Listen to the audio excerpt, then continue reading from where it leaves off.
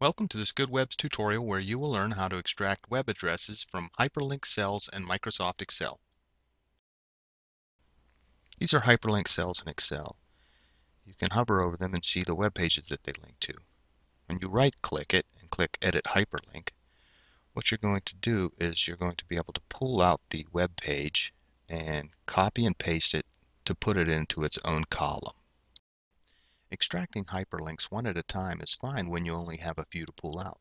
But if you have a special web migration project or SEO project where you need to pull out hundreds or even thousands of hyperlinks into their own column, you're going to want a faster method. Since Excel doesn't have a function like this built in, we're going to make it ourselves. We need to make a function that pulls out the hyperlink in a cell. We are not going into depth to learn the code here, that's beyond the scope of this tutorial. But if you follow the steps outlined here, you can make this function work for you. In order to do that, we have to do a couple of things. Let's go into the Developer tab and build this function. Notice that there's no tab at the top that says Developer. First, we need to activate the Developer tab by clicking onto File and clicking Options. Now look at the Customized ribbon on the left panel. Click that and over here select developer. Hit OK and you'll notice that we have a developer tab at the top. Now let's build the function. Click the developer tab at the top.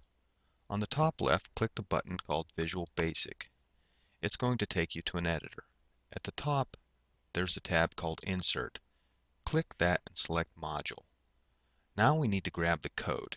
If you're not watching this tutorial on the goodwebz.com website, you'll need to go there to get the code we simply do a copy and paste into our Excel module that we've created. Click Save.